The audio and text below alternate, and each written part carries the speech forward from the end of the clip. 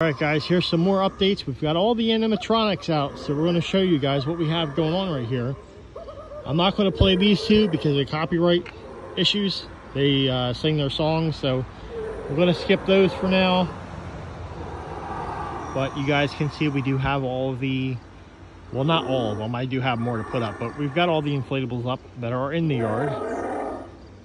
Here's Pennywise.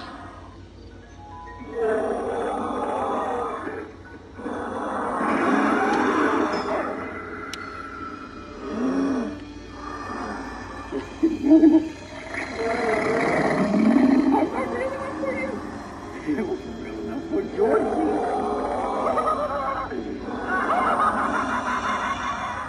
the plague doctor.